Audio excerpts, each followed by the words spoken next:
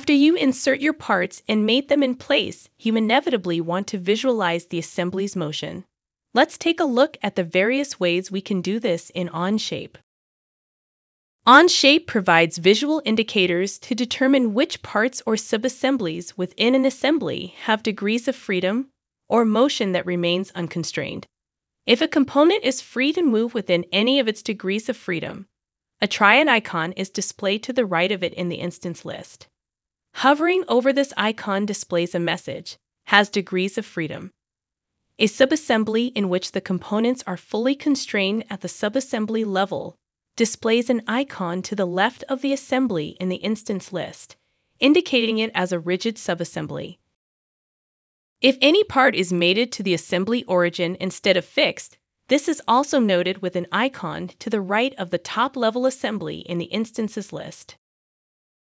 One method to determine assembly motion is to left click drag the part that you want to move. It moves in any direction allowed by the mates for that part.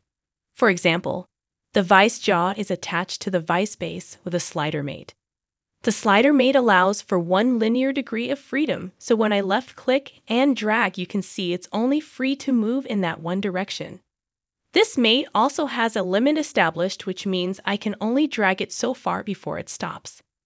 Left clicked dragging a part is the simplest means to visualize assembly motion, but what if you want a little more control? You'll want to use the triad manipulator. To display the triad manipulator, simply left-click the part that you want to move in the graphics. Drag the triad along an axis by left-click dragging an arrow.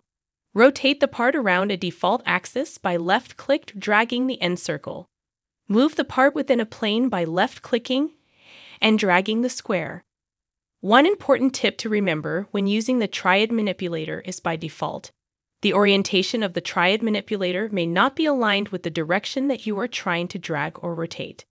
If you need to drag or rotate the part in a different direction than the default orientation, reposition the triad manipulator. To do this, simply left click and drag the center point of the triad.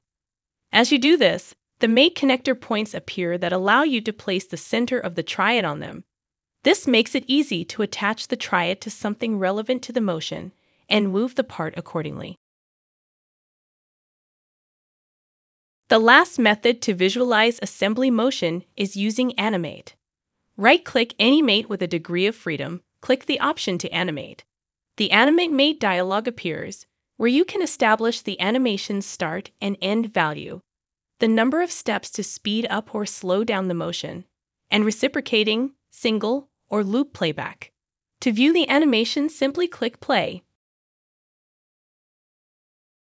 and to stop the animation, click Stop. It's important to point out if the mate you choose has more than one degree of freedom. A separate dialog appears allowing you to choose which degree of freedom to animate. If the mate has limits established, the start value and end values inherit those values in the animation dialog. To slow down the animation, increase the value in the steps option and to speed it up, decrease the value. Single only shows the motion one time through from the start value to the end value, and then the animation stops. Reciprocate shows the motion from the start value to the end value, and then from the end value to the start value continuously until the animation is stopped. Loop shows the motion from the start value to the end value, and then jumping back to the start value to begin again until the animation is stopped. You may also reverse the playback with the reverse playback option. If you stop the animation, the current value is displayed in the dialog. As you can see, there are several different techniques to understand motion in Onshape assemblies.